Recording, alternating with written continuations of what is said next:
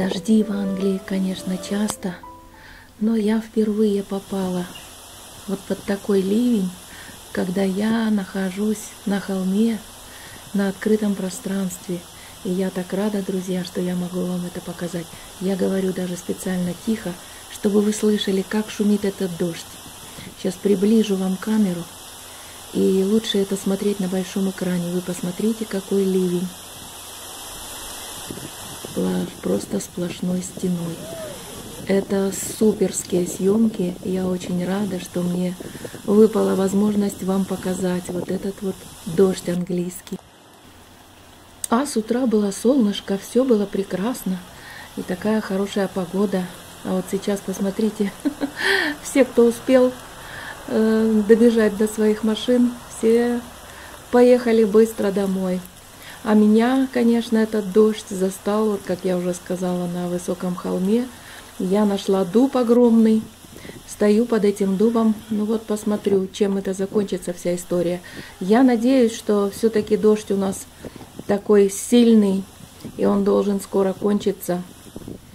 Ну давайте все-таки мы с вами тут постоим, подождем и немножко поговорим. Вот такая вот дождливая погода, наверное, все-таки навевает какую-то меланхолию, помимо всего прочего. Это у нас уже 18 э, октября, друзья. Октябрь прекрасный месяц, очень красивый, но вот дождливый, к сожалению, в Англии. Так вот, пока я тут с вами стою, у меня вдруг вспомнилось, мне вдруг вспомнилось, вы знаете, «Моменто море» называется, э, одна из моих зрительниц. Зовут ее Ирина. Я не буду говорить ее фамилию, может быть, она не очень этого хочет.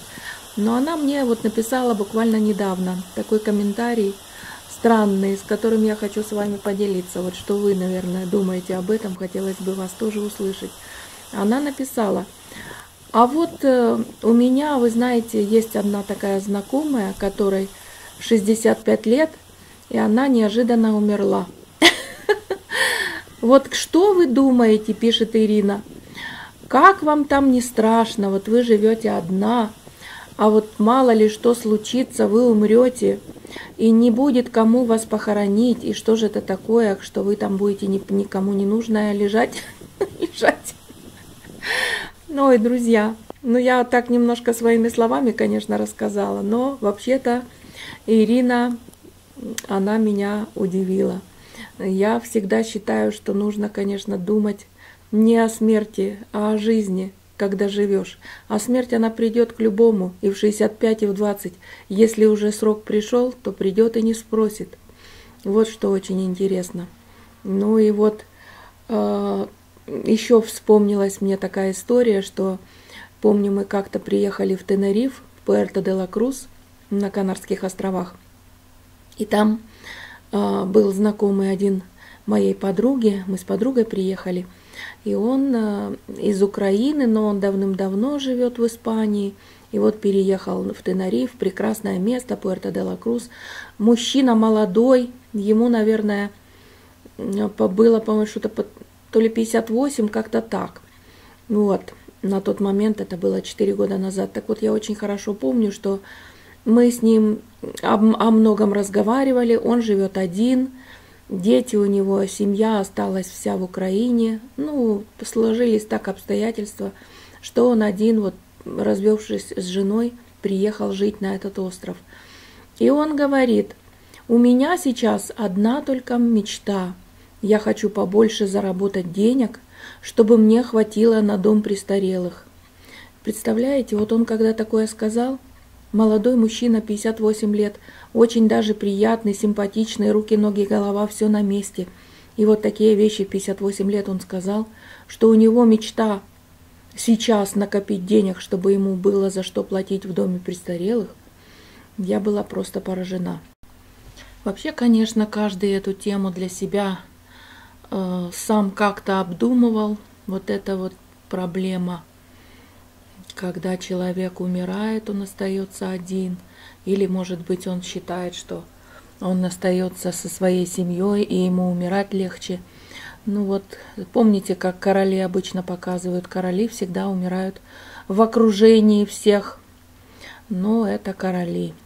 И хорошо ли это или плохо, но чаще всего именно обычные люди в обычной своей жизни, они умирают в одиночестве, точно так же, как и приходим в этот мир голыми и в одинокими, так мы и уходим из этого мира. Голыми и одинокими ничего с собой на тот свет не взять. Но тема такая, конечно, очень обширная, каждый думает по этому поводу сам. А вот тот вопрос, стоит или не стоит жить долго, это тоже такой грандиозный вопрос. Потому что вот смотрите, если человек прожил там до 100 лет, допустим, ну или до 90, до 80, это же уже очень-очень преклонный возраст. И получается, что человек уже последние годы, он не особенно счастлив от своей жизни. Э, как-то это все для меня, например, странно. И он уже доставляет неудобства своим, ну, тем, кто за ним следит, своим окружающим, своим детям, своим родственникам. И стоит или не стоит вот такую вот жизнь влачить. Как-то мне, например, казалось, когда я была молодой, что 50 лет посмотришь на людей, которым было тогда на тот момент лет 50, а уж, а уж тем более 60, мне казалось, боже мой, как эти люди живут, какие бедные они. У них же уже ничего в жизни интересного нет. И зачем влачить вот такое жалкое существование? А потом, когда сам достигаешь этого возраста, то он как-то подходит так незаметно, что, что ты остаешься в душе точно такой же, какой ты и был в 20-30 лет. И странным образом на тебя навешивают вот эти вот огромные трехзначные цифры возраста. Да, очень трудный и сложный вопрос, друзья. Сама жизнь, конечно, как раньше говорили, жизнь прожить, не поле перейти, да? Но эти все вопросы, они так или иначе возникают перед каждым. И опять я вспомнила почему-то одну женщину грандиозную, великую актрису – Илину Быстрицкую.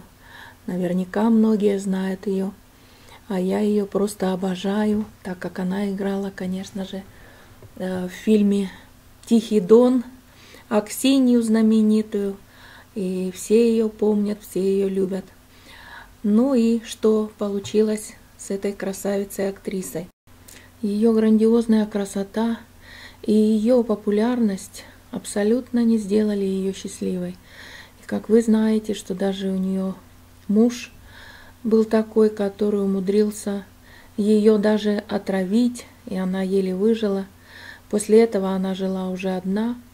Ну, хорошо, что у нее там из-за того, что были деньги какие-то, с ней вместе жили, как раньше назывались, приживалки, да. Ну и вот она в таком одиночестве прожила до 91 года. И вот у меня возникает вопрос – а нужна ли такая жизнь, когда уже ее родственники только и ждали, когда же она умрет и когда они смогут воспользоваться ее деньгами. Вот такие у меня сегодня, друзья, получились грустные размышления, хотя дождь был прекрасный, и как-то все вроде было позитивненько и прекрасненько. Ну, а мы с вами вернемся все-таки на нашу бренную землю, и я хочу вам показать, еще кое-что. Казалось, что затих дождь. Я вышла на уже на тропинку, и оказалось, что он опять начался. Но я вот подошла, какие красивые, посмотрите, как редко вот эти красные листья. Эй, красота. Да, дождик, дождик. Я встала здесь под такую маленькую крышу. Но вы знаете, дождь с ветром, и поэтому э, задувает ветер сюда. Вот видите, я на каком высоком холме.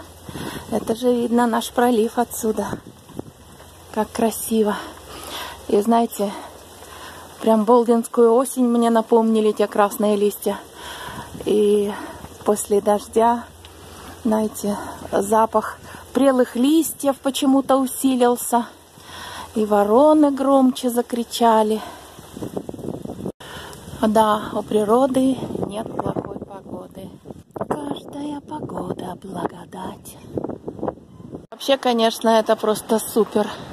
Вот такие погодные явления, атмосферные. А как жаль, что вам не видно вот совсем, что она вот туда, вот даже тем концом, видите? Вот она какая. Она настоящим коромыслом радуга на все небо.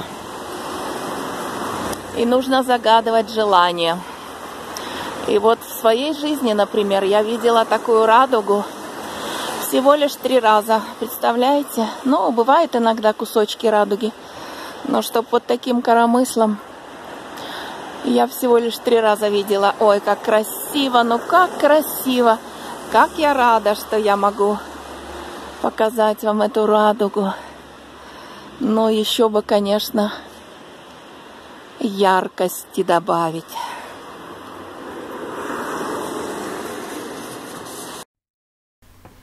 Да, друзья, вот такое сегодня у меня для вас необычное видео. Если кто-то ждал опять позитива, то видите, сегодня я не смогла вам дать какой-то позитив. Но хотя, вы знаете, дождь и осень, уж никуда не денешься, но навевает грустные мысли на любого. Ну, а я бы хотела вас услышать, что вы думаете по этому поводу. Может быть, поделитесь своими размышлениями. А на этом я с вами прощаюсь сегодня. Всего вам доброго. Еще увидимся. Берегите себя. Пока-пока. Худо ли, бедно ли, но погуляли.